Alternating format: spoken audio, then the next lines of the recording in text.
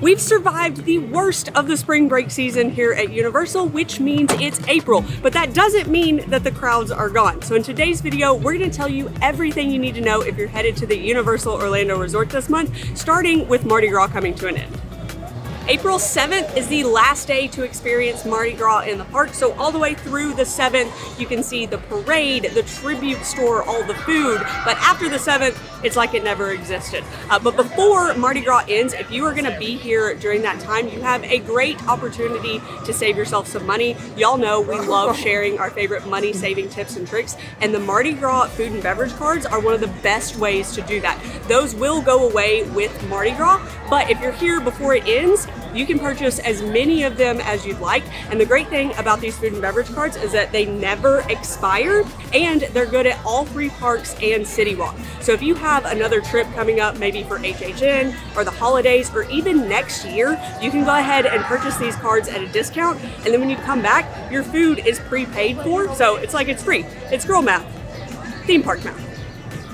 Another little tip that doesn't always work, but it's something to keep an eye out for, is that at the end of a seasonal event like Mardi Gras, if they still have a bunch of merch left over, they'll discount it a lot of the time. So if there's something that you're really, really wanting, go ahead and buy it just so they don't like run out of your size in it. But if you're here the last couple days, you can head into the tribute store and probably get some stuff on deep discount. Hello. By my entrance, you may be thinking, wow, he's got something exciting to talk about. Nope, just crowds. So in April, the first week of April, you have Easter and it is still spring break season down here in Florida. So it's gonna be busy. Pack your patient pants. That bird is extremely loud. Pack your patient pants and apparently some earbuds. Oh, it's looking at our food, Anna. It's looking at our food. Oh. It'll be it'll be okay. It'll be okay.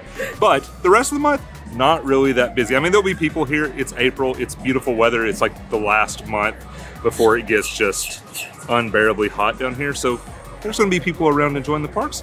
But if you're not coming the first week, the crowd should be manageable. So something kind of crowd adjacent that affects how busy the parks are on certain nights in April is an event called Grad Bash. So Grad Bash is a really cool thing that Universal does where they invite graduating seniors from school systems in the Central Florida area where they get to come and hang out and have an awesome night at the parks before they graduate. I am so jealous of this because when we graduated, we got like a bounce house and I think they gave away some microwaves for like your dorm room. For these seniors, this is so cool. For everybody else that's gonna be here, it's kind of uncool because the parks close early. So Grad Bash is happening on April 12th, 13th, 19th, 20th, and 26th. And on all five of those days, both Universal Studios and Islands of Adventure will be closing at 6 p.m. Uh, but to make up for that, both parks are opening an hour earlier, so they typically open at 9 in the morning, but they'll be open to all guests at 8 a.m. to kind of help make up for that. Um, if you are here on one of those days, we totally get that it's kind of frustrating when the parks close early, but what we like to do on those nights is just get a dinner reservation for somewhere in City Walk or one of the hotels and turn in early and get some extra sleep for the next morning. As far as park hours the rest of the month go, it's going to be your typical parks open at 9 in the morning and then they close anywhere between 7 and 9 at night, just depending on the day, the day of the week, and how busy it is. Uh, and as far as Volcano Bay goes, that park is going to open at 10 a.m. and close between 6 and 7 every night. Hello. The way I entered, you once again may be thinking I have something exciting to talk about. But I don't. This time it is just EPA. So early park admission, it is here at Islands of Adventure. Like always, I don't know if it's ever gonna not be at Islands of Adventure at this point, but it's here all month long, starting at eight o'clock, except for on those grad bash dates. Uh, those dates that Anna mentioned earlier, it starts at seven on those mornings. And then if you're headed to the water park, it is a great time of year to start doing that. It is warming up here in Central Florida. Volcano Bay opens at 9.30 every morning for EPA. So we've come to the part of the video where we talk about closures, and there's really not much on the list for this month. So here in Seuss Landing, there is one fish, two fish, red fish, blue fish, which is closing the 27th of April. So it really doesn't affect you for most of the month. And then back in Hogsmeade, the Castle Light Show. They haven't said it's closing, but they also haven't said when it's returning or if it's returning. I fully expect it to return, but we have no updates on it. And speaking of the Wizarding World, we've got something we need to show you back there. Hello. you may be thinking the way that I entered, I have something exciting to talk about. This time I actually do. Uh, so it's butterbeer season, sort of. So about a, I don't know, two weeks ago, Universal announced that from now until the end of April is butterbeer season, and with that they introduced two new butterbeer flavored treats. So you've got the caramels and um, a popsicle or an ice lolly. There's one problem. We haven't seen the ice lolly, and apparently no one else has.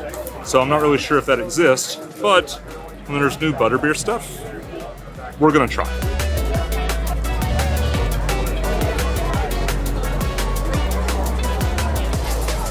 So a couple of months ago, we said that we were gonna start a segment in these videos where we told you something to eat when you visit, and of course, the butterbeer. Like, if it's butterbeer season, you gotta get something butterbeer. And this is good. It reminds me of a zero bar. I don't know if it's the white chocolate. I don't know something about it. If you've ever had a zero bar, it reminds me of that. And I would love to give you a review of the popsicle. But until we decide that the popsicle exists, I cannot do that.